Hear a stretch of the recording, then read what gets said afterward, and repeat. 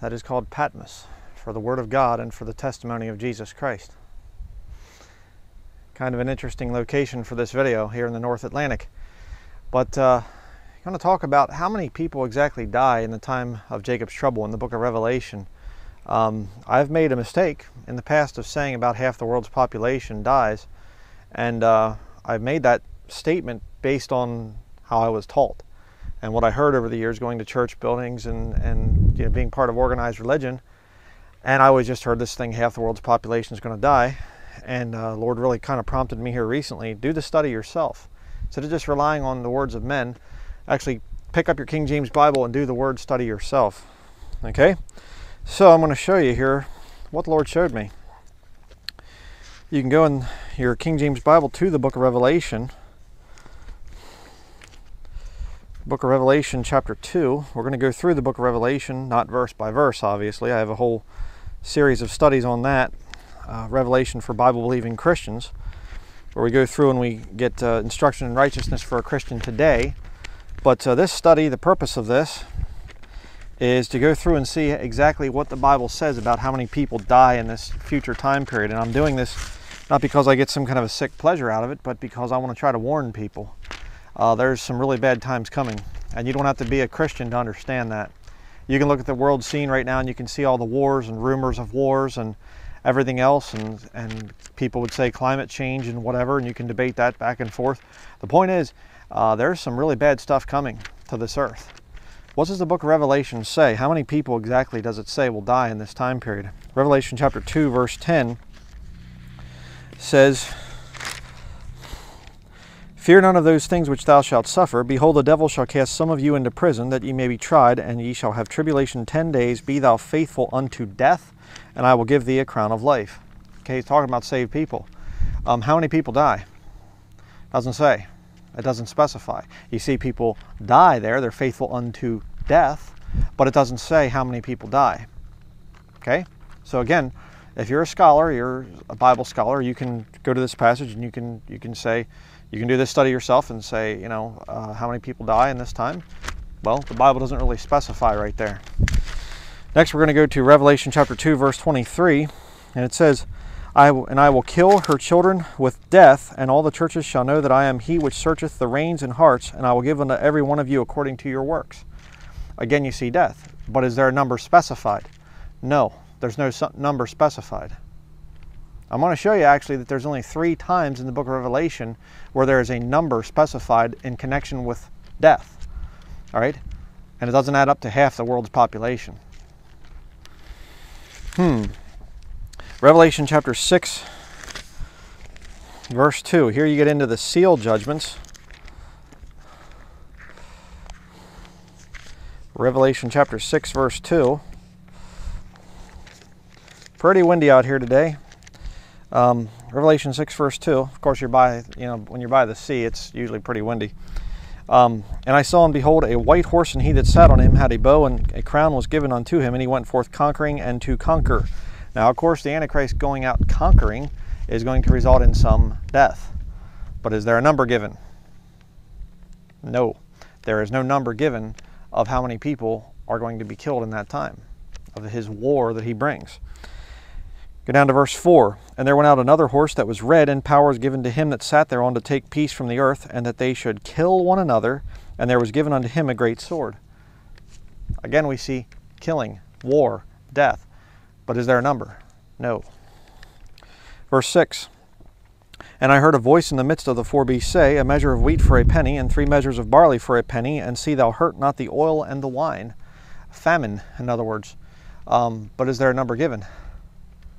You say, well, some might not die of the famine. Okay, I'll grant you that.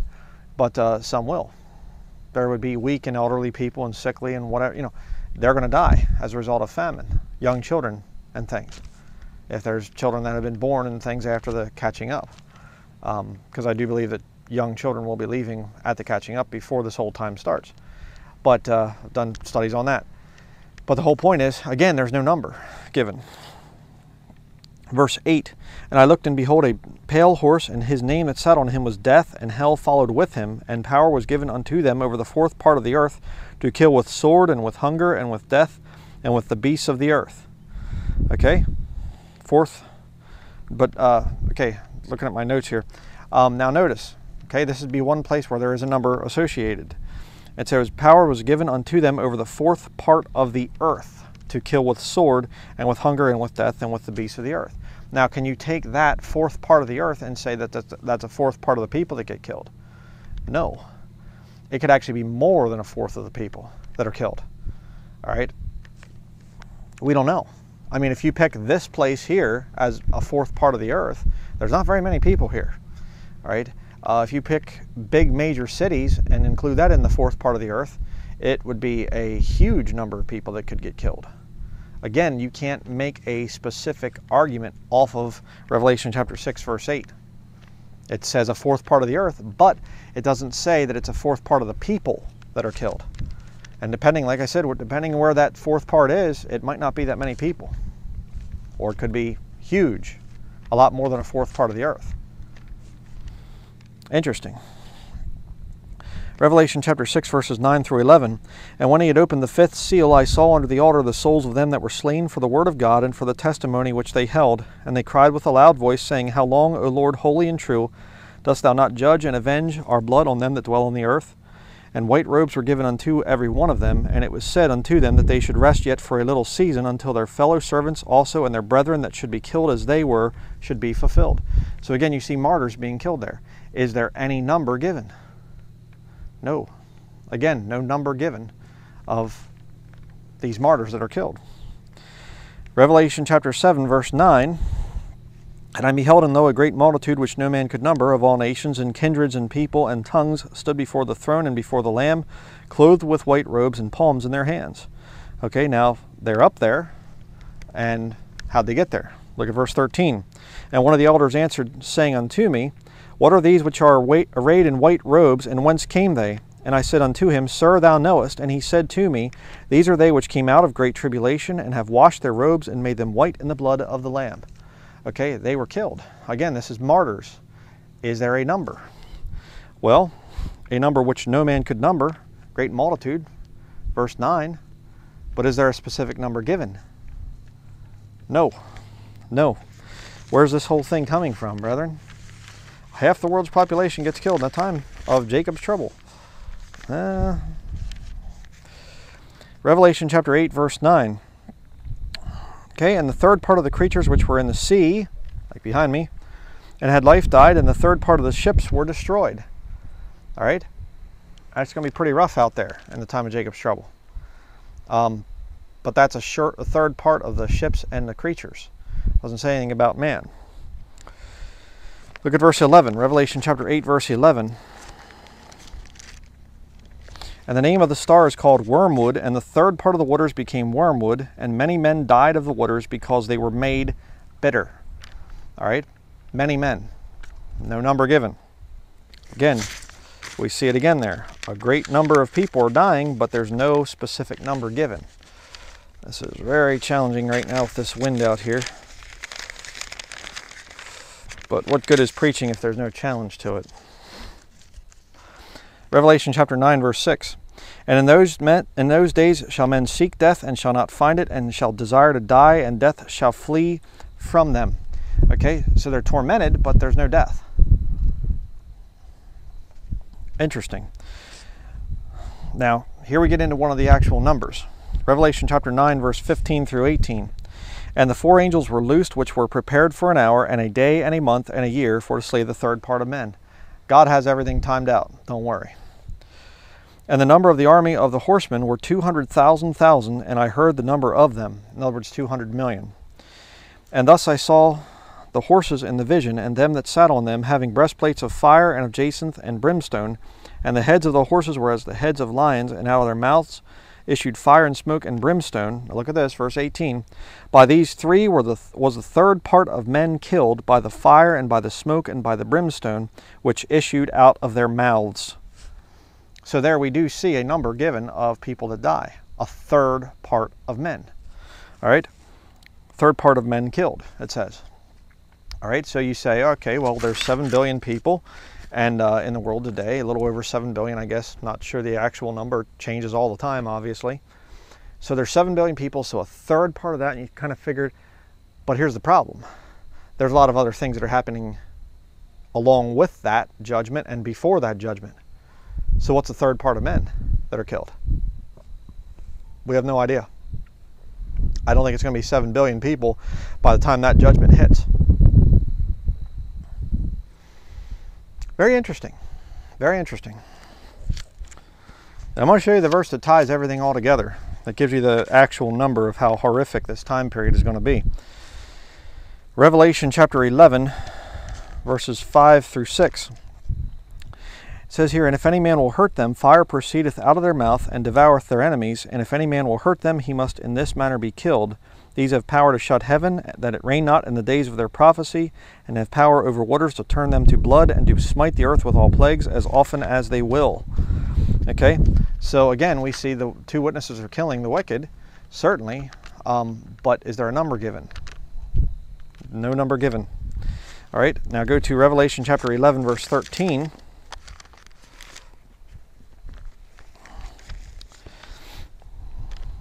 And the same hour was there a great earthquake, and the tenth part of the city fell, and in the earthquake were slain of men seven thousand, and the remnant were affrighted, and gave glory to the God of heaven.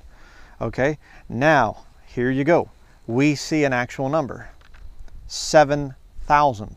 The third part of men, yeah, you can kind of get an idea there, but you don't really know what the starting number was. Here you see it's actually 7,000 men die in this earthquake.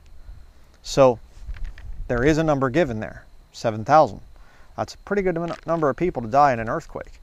All right, going to be pretty tragic in that time period. But does that equal half of the world's population? No, it doesn't. Revelation chapter 11, verse 18. And the nations were angry, and thy wrath is come, in the time of the de- of the dead, that they should be judged, and that they shouldest that thou shouldest give reward unto thy servants the prophets, and to the saints, and them that fear thy name, small and great, and shouldest destroy them which destroy the earth. Okay, all the people that pollute and corrupt and everything else, and rape the planet to for gain, be it in logging or in uh, gas and oil and whatever else, uh, whatever the uh, big money people do uh, to steal and destroy God's planet, you know, and whatever, uh, God's going to destroy them in this time period coming up. But is there a number given? No, there isn't. Revelation chapter 12, verse 17. Uh, and the dragon was wroth with the woman and went to make war with the remnant of her seed, which keep the commandments of God and have the testimony of Jesus Christ. Now, of course, obviously, here this the woman in Revelation chapter 12 is Israel, um, very clearly Israel. It's not Mary, sorry to the Catholics. It is Israel. And the dragon goes and he makes war with the remnant of her seed. And he kills them. Kills a bunch of them. You know where I'm going, don't you? But there's no number given. You know what I mean? Revelation chapter 13, verse 7. And it was given unto him to make war with the saints and to overcome them, and power was given him over all kindreds and tongues and nations. Okay, making war and he's overcoming them.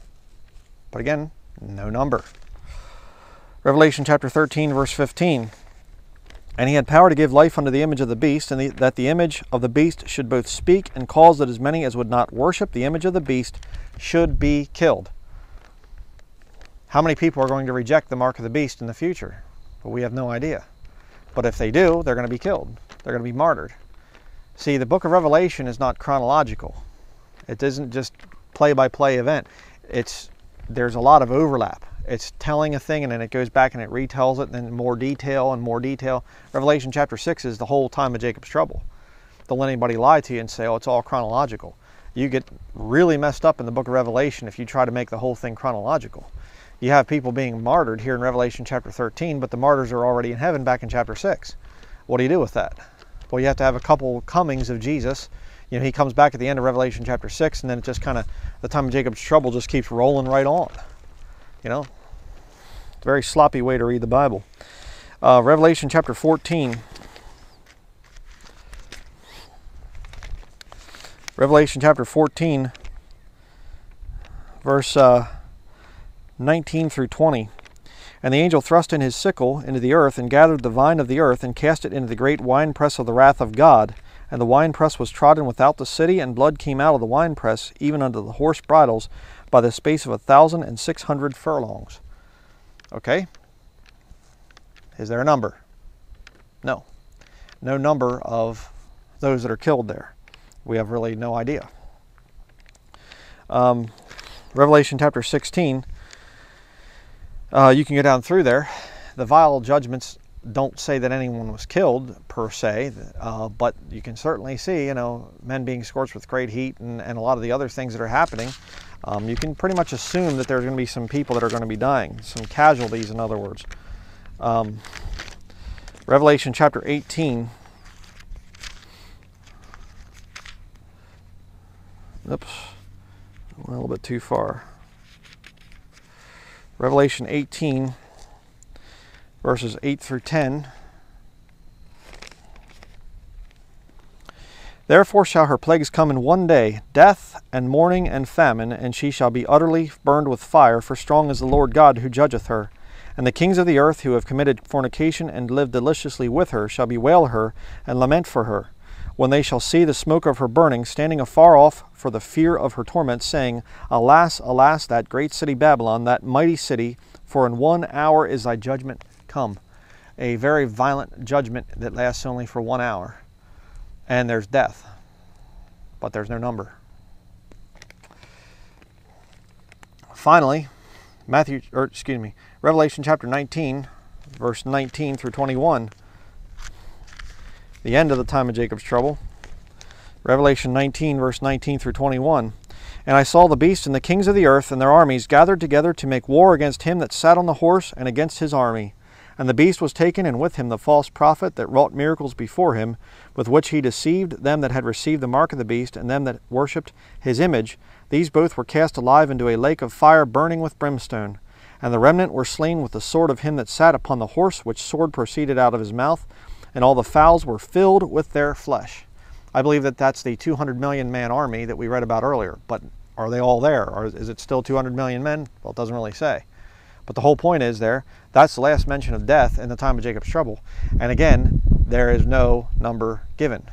So, how on earth did these Bible scholars, over years of study and things like this, arrive at this number of half of the world's population will die in the time of Jacob's trouble? And yet, you go through the book of Revelation, it doesn't say anything of the kind. If you take a third of men dying and a quarter, you know, you could say a quarter of the earth, but they'd take it and say, well, it's a quarter of men. It doesn't say that and then 7,000, that's the only three numbers that are given. Well, you can arrive somewhere right around half, but that's not what the Bible's saying. And what about all the other judgments? You see? So then how do we arrive at the actual number? Well, you don't. There is no actual number. But the words of the Lord Jesus Christ tell us approximately how many people are going to be gone. Let's look at that. Revelation chapter 24.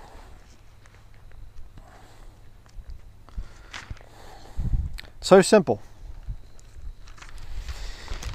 When you just look at it here, Revelation chapter 24, verse 21 and 22.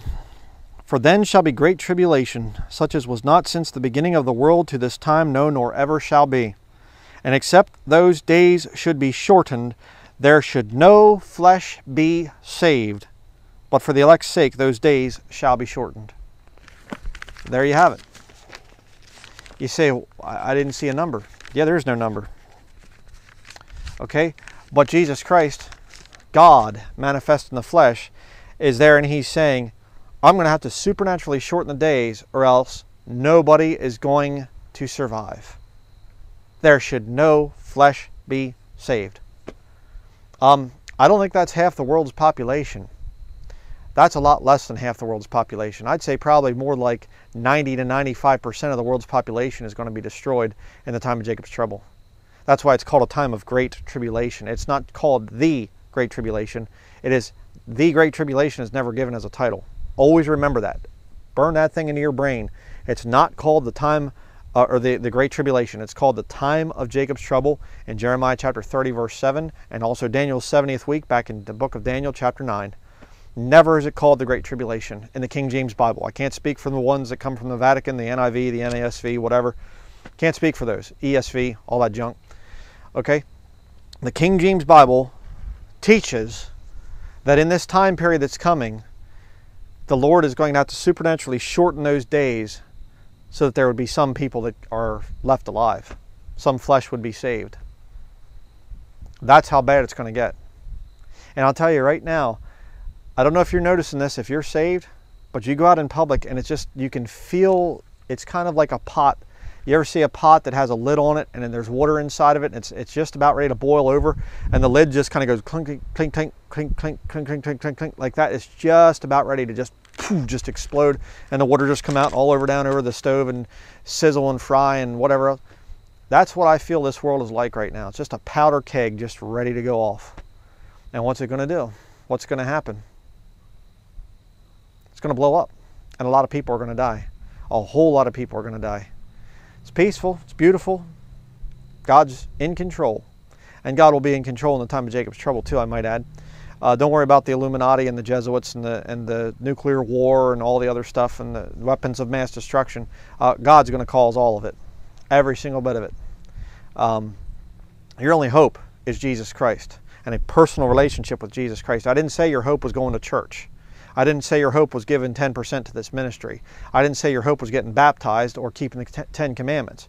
Your hope is a personal relationship with Jesus Christ, the Lord Jesus Christ. That's your only hope.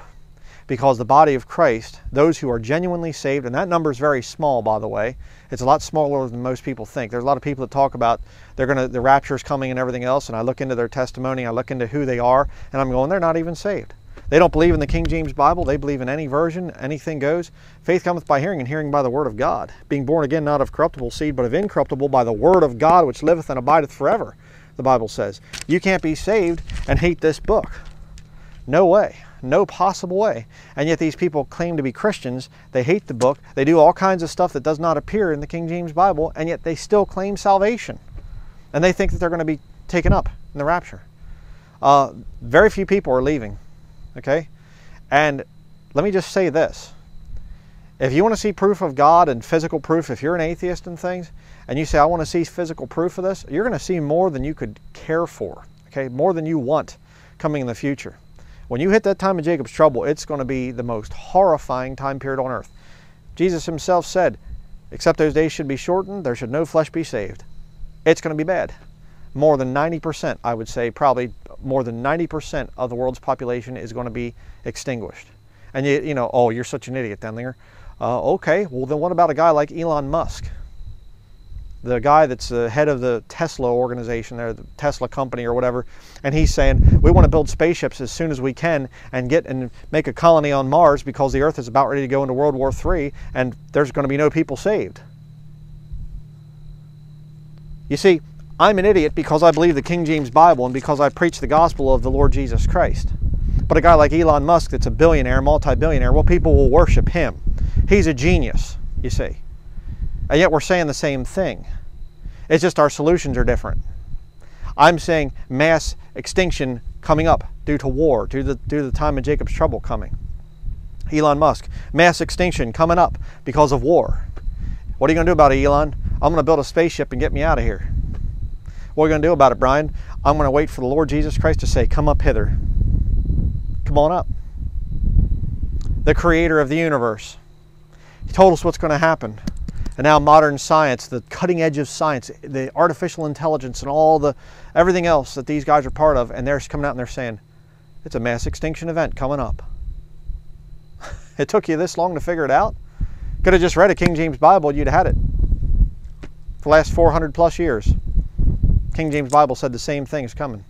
And you go back beyond that, the Greek New Testament's going back to the first century. We have extant copies, thousands of them, thousands and thousands of them and the vast majority of them, over 99% of the extant Greek manuscripts that are out there, match the King James Bible. Not the NIV or the ESV or the New American Standard or any of the other Vatican versions. And they are Vatican versions. I'm not joking about that. They come from the Vaticanus manuscript. Another whole issue. You say, well, I, I, will have to think about this, Bryan. I, I kind of am going to have to think about this. Um, the catching up when it happens, there's no, oh, wait, oh, hold on. Okay, yeah, I want to go too. And the Lord says, oh, okay, I'm sorry. And you can come now too. No. When the Lord says, come up hither to his body, and the body of Christ comes up, the door slams shut. John, when he's in Revelation chapter 4, he looks up to heaven. From the island of Patmos, he looks up to heaven and he sees a door open. And he hears a voice that talks with him, and it sounds like a trumpet. And it says, Come up hither, and I will show thee things which must be hereafter. Revelation chapter 4, verse 1. And immediately I was in the Spirit. No spaceship.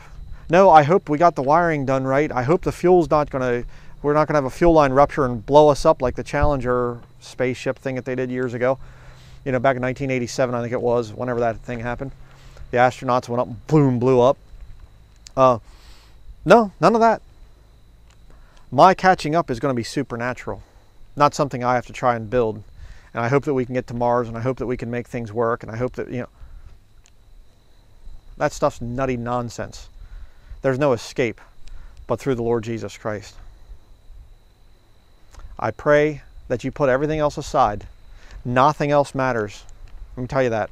There's not one thing on this earth that's more important than your salvation. You do not want to go into this time. And a lot of these post tribbers right now are coming out and literally saying to people, it's good. You want to go into this time period. I want to go into it. I want to see these things. Why? Well, number one, because they don't really believe what they're saying. They're lying. They're con men. Um, and number two, there's they're in it for the money. They really could care less. And you know, if they're th- saying I don't believe it, but if it does happen, well, I'm going to be part of the enemy, you know, Antichrist system anyhow. So who cares? That's the issue. Your job is not important. Your family is not important. Your relatives are not important. Your looks are not important. Your career, your car, your house, your vacation, your none of it matters. War is just about here. And it is going to be thermonuclear war and there's going to be massive casualties. People get all upset, you know, remember 9/11, remember 9/11, never forget. 3,000 people died. How about uh, when a third of people die? How about when war comes and the mass casualties start to roll in? You look at World War II, people just sit around the radio at night and listen to hear the names being read. Oh, we just had a battle over there. 10,000 of our soldiers were killed in a day. Oh, the next day, oh, we lost another 17,000. Let's read the names off. Families waiting at home and, and just looking out the lane and, oh no, here comes a vehicle. Oh no, Vehicle pulls up, gets out, military guy gets out, and the family just, oh no. I'm sorry, your son was killed. What's it going to be in the time of Jacob's trouble? When peace is taken from the earth. But something that you're doing right now is more important than you getting your salvation figured out. There isn't anything more important than your salvation. Please, please, I beg of you, get saved today. Time is swiftly running out.